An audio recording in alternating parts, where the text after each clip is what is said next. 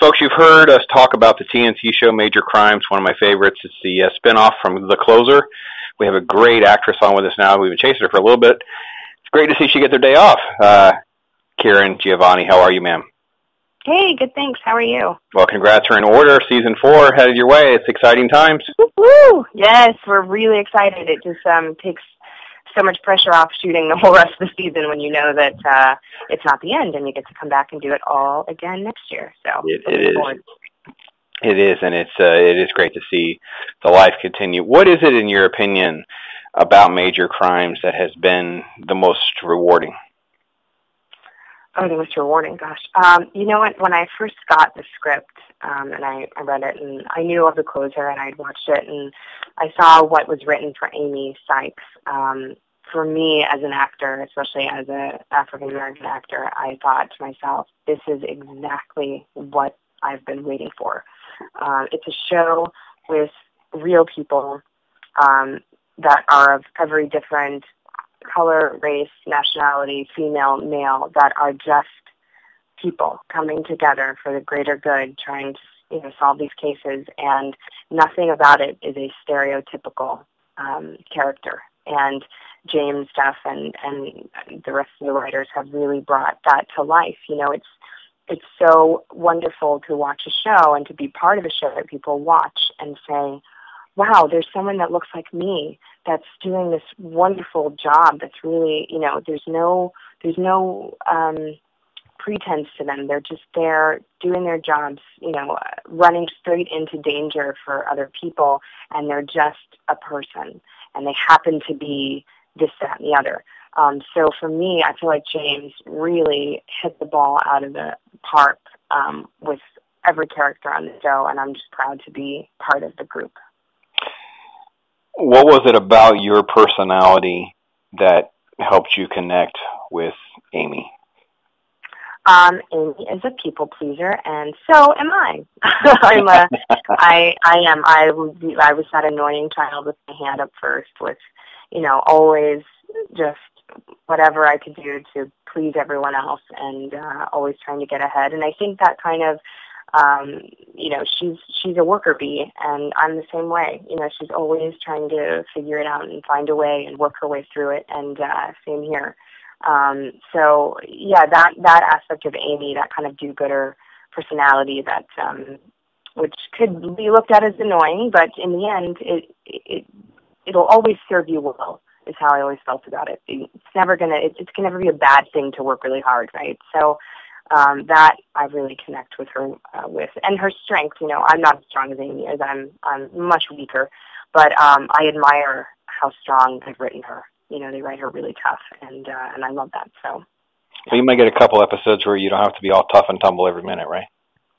Oh, absolutely. I mean, we laughed a lot. Look at the look at the um, you know, all the what's the uh, what's the guy that was on there with the oh gosh, what's his name? Um, he was on the closer as well. I cannot think of the character's name right now, but he um it plays this crazy, ridiculous guy that thinks that he's a police officer, but he's clearly not. And oh, right, right. um oh my god, it's hysterical and we just get to laugh and, you know, I say things like canine vomit and you know, of course, like you've got all of it is real is real. Every case that we have kind of comes from um something that's happened uh, in one of our producers' careers as a police officer with the LAPD. So, um, you know, there there's funny ones and there's really really gut wrenching, horrifying ones, and that's kind of the reality of of police work as well. So. And I think is that isn't that not what separates the show from other crime dramas in you know CSIs or whatever, which you know been around and they've done their thing, but yours is definitely more of um, semi autobiographical, you know, from the producer standpoint. I mean, you know, he's like he's using his real life experiences to show you the roller coaster ride of what these folks are going through. Right. I mean, that's yeah. I think that's what keeps us going is that there's, you know, with with crime, this start it starts to repeat itself, right? I mean, it, it eventually there's the characters are new, but the crimes you kind of go, I've seen that happen before, and you don't have anything to latch on to that really keeps you going. Oh, what's going to happen to that person? Mm-hmm. And so what they've done is make everyone a person, not just a cop, not just solving the crime is not always the most important thing. Our lives are. And so I think people really tune in, A, because, you know, crime and cop and procedural shows are just super interesting, and B, um, they've got, you know, a life of whoever they're following, whether it be, you know, Rusty's storyline or GW or myself or whoever, that they can really kind of latch onto and wonder, oh wow, I wonder how they feel about that case. You'll you'll know it. It's written. You'll see it. Um, and uh, and about each other and about our family lives and why we are the way we are. I think that's definitely a 100% why um, people love the show. Can you give us any hints on uh, how Amy will change over the course of the rest of season three, or any little story arc hints at things that uh, really kind of uh, really bring her to different levels? Um, you know, we've we've caught up pretty much to. I mean, we're we're filming ten right now, and I think we just aired six or seven. So we're almost um, storyline wise, we're not too far off from where we are now. So as far as script wise, you know, we don't get script the script until the probably a day or two before we do the read through of each episode. So I have no idea what's going to happen. Uh, I am hoping that um, you know you'll see more of her kind of life with um, with Malcolm. Um, who plays her boyfriend on the show, and you'll kind of see that relationship. Um, and ho- I mean, I'm hoping honestly that you know all of the fruit of her labor will eventually pay off, and then she she will have more of a leadership role um, in, in the squad. But uh, I have no idea what is up James's sleeve, so um, I I can only one can only guess. I have no idea.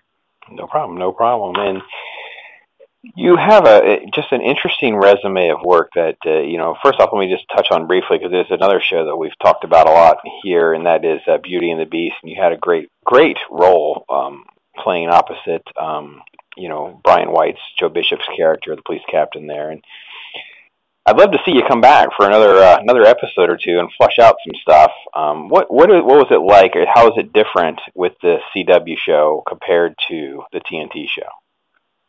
Um, you know, I wasn't there for that long, honestly, and uh, it was which is so funny. Did you know that Brian White was um, played the one of the DAs on our show this season? On, right, right.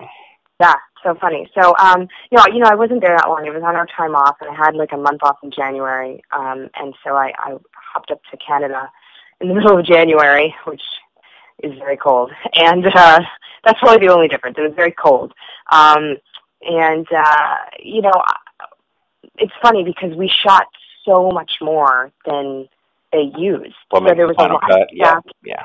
Yeah, with Tess that they ended up making it not so aggressive. That's what they went for, a not so aggressive take on meeting her for the first time, so that I think they left it a, the possibility of her coming back a little more open.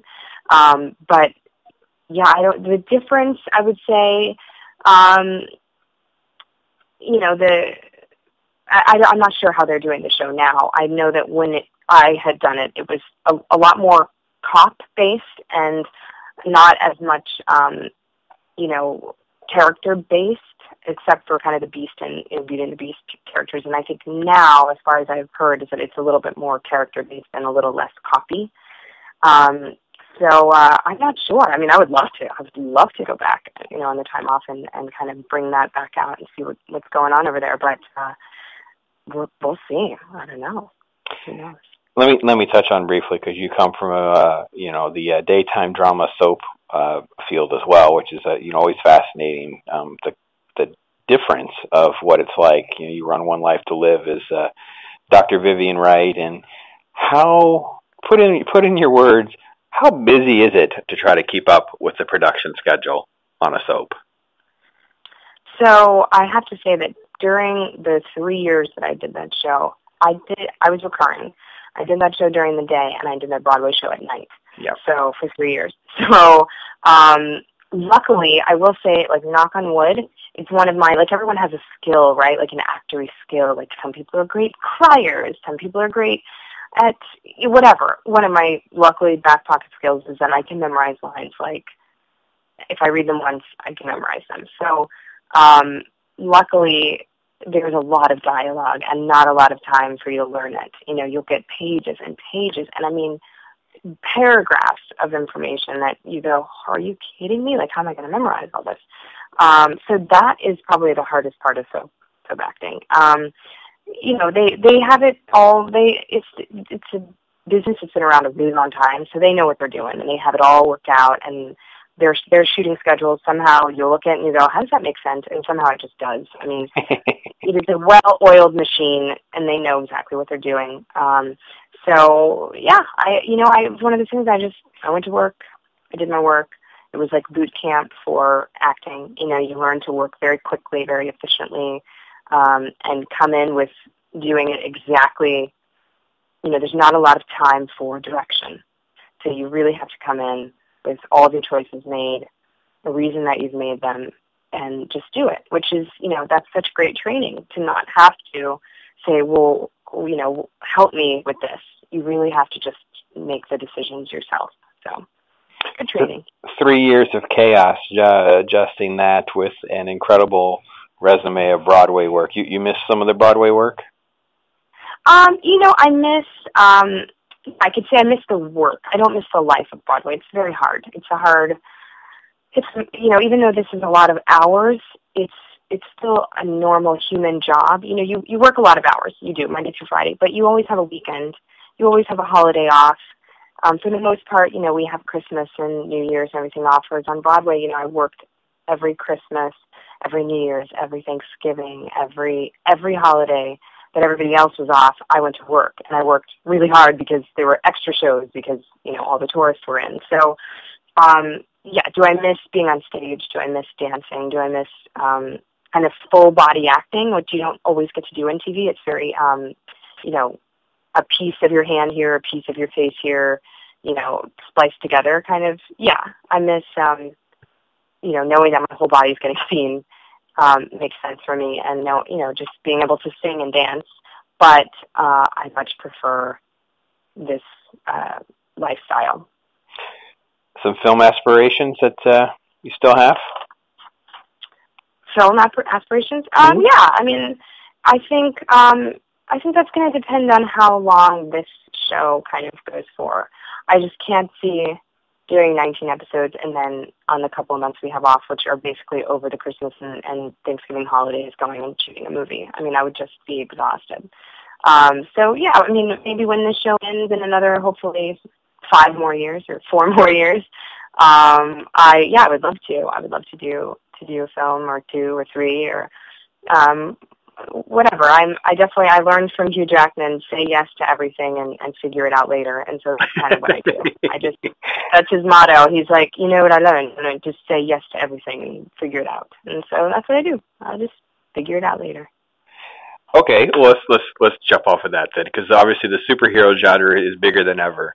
So is there a superhero character you're like, hey, when that comes around though, I, I could play her? Oh my gosh, I would love to play a superhero. Are you kidding me? Of course. Um, I yeah, I don't. Uh, I have no idea of what superhero I would play. Maybe I'll do the reincarnation of Storm or something, since she's uh, busy with her TV show. Um, but uh, oh yeah, God, that would be amazing. I think there'd be, I, mean, I think there'd be a, there'd be a great spot for you in the Wonder Woman franchise. I would agree with you. That would be that would be pretty awesome, right? And then yes. and then my kids could see it. It would be awesome. No, I would totally yeah. totally love to do that. I'm a gymnast. I've you know do aerial work and all that kind of fun stuff. So um, I'd fall right into place with that. Like now, your your girls are pretty young. How old are your girls? Uh, they're four and six. Oh my goodness! So let's we have yeah. to have it. We have to have confession time. We'll have to get some theme music. so we'll dub over this. How many times have you watched Frozen? Oh gosh. Um, the, the over under okay. is about 172. Just so you know. Yeah, I'm gonna go with 212. Yeah. um. Oh my God, you have no idea. I mean, just in, just when it was at the El Capitan, which is like the huge, beautiful Disney theater down here on um, Hollywood, I saw it four times, and went to the sing along with both of them wearing costumes. And then we, I mean, we've seen it so many times. Obviously, we own it. We, and then it, my little one had a, a Frozen birthday party on it. And Elsa came and sang, and she did. Oh my goodness! No, no, you have no idea. We still. Oh, I do know. I have girls. We have girls. Oh, you do? Okay, oh, all right. We have oh, girls. everyone. Well, my my youngest is twelve, but you'd be oh. shocked from the teen group. how much they're still affected by the film. Okay, you you've done Lion King on stage, so you understand. Lion King is the is probably was their biggest impactful franchise. You know, from that Right, point. Lion King Lion King lasted for what three years. I mean, it was just incredible. Yeah. So this is the first time we've gone through this again. And I try to tell people, says most anyone that has any any girls that are remotely they're, they're in, but the teens are amazingly affected. Well, I always ask, so I just yeah, I'm Oh, you're yeah, not you're, I mean, you're when we went to the sing along, there were two girls in front of us that were probably around 12, 13 years old that were dressed in full Frozen, like t-shirt bows, singing along to the entire thing, even doing the the dialogue, not just the songs that were a 100% into it. So, um, yeah, I mean, luckily I love Disney. I mean, I've done The Lion King, I did Tarzan, and you know now this and whatever. And I also worked on an ABC show and got you know tickets to Disney World and so I'm I'm totally into it too. I'm totally like a hundred percent totally fine with them watching it all the time. Um, but there does come a point where you're like, okay, I haven't hit the wall yet, but I could see another couple months um, I may hit a frozen wall. well, you know they're going to add Frozen to Once Upon a Time. Oh really? I did Uh-huh. not know that. Yeah, so I have to have to uh, forward that email to you. Yes, if you look that up, they just cast. Uh, they're adding Elsa and Anna and Kristoff. They'll be on season four. And season four, we just spoke to Raphael. Oh my goodness! You know they've really done a really good job of kind of bringing the adult audience into it too. You know that's such a great idea because See, you're hooked too. They're brilliant, aren't they? yep, they are. Yeah, What can you see, we got it. Kearran and uh, Giovanni's hooked too. We got everybody. Like, can, can I? How how addicted are you? Can I get you to sing a little "Let It Go"? Because I know you can sing. Snow glows night on the mountain tonight, not a footprint to be seen. A kingdom of isolation, and it looks like I'm the queen. Oh yeah, I sing it all the time. Fantastic. I know you do. I know you do. it's so funny though because my kids, like, I sing all the time. I sing in the car, I sing in the house, I sing everything, and they hate it when I sing. Mom, stop singing. It doesn't matter. I'm like, you guys know I I got paid like for a very long time for singing. Like that's what I do. And they're like, Mom, seriously, stop singing. They But- actually But they'll get you a it. Gig. it's They'll get you a gig. What- Like it'll be five years from now, and they'll get you a gig where you have to be in Frozen three, and you'll be Oh, playing the character, and you'll be singing, and they'll be like, "Mom's, my mom's the greatest. She's the greatest actress ever. She's because you know why I know that because every time I talk to someone who's had this long career and they finally get like the a job in one of these superhero movies, now they're cool. Every, Oh yeah. every Uh, wait, story. wait. Yep. Well, when they can tell, tell their friends, like, and their friends go, "Wow, that's so cool. Your mom does that, or whatever." Then I'll be cool again. Right now, I'm not. So, I'm not so cool. I'm. I'm definitely like annoying singing mom. Now I have to just wait till they leave, and then I can sing when they're not in the house. Oh well, We- we it's a have- we all phase. I'm hoping it's a phase. We all have the same problems. It's amazing. Yeah. It is fantastic to finally get a chance to talk to you, Kearran, and I'm so pleased that Major Crimes is headed our way for season four, and we get to jump right in, folks. We're about, we're not quite halfway, right? I think we're, how many episodes we have in season three? Uh, 19. and I 19, think, yeah. Um, 19, yeah. And I think we're um up to, I think we've aired up up to episodes Yeah, it started, it started June 9th, so that's, we're probably on week five or six, so yeah, we're still we'll air up until 10, and then we'll do a little hiatus to always do, and then we'll air the back nine um, around Thanksgiving, Christmas time. right. And I'll get to wear my Christmas sweaters and Christmas pins again, because Amy has a secret obsession with Christmas. Of course. So It's I'm fantastic. very excited about that. It is great to talk to you, and folks, Thank you. It is on TN8 TNT Monday nights at nine. You definitely want to be tuning in. Major Crimes, and uh, we'll be following her. We'll link to your Facebook, Twitter, and all that kind of stuff. I'll track you down, make sure folks can get to that and follow that. And uh, just hope you have some good time with your family. Thank you so much. Nice talking to you. All right, take care. Bye bye. Okay, bye-bye.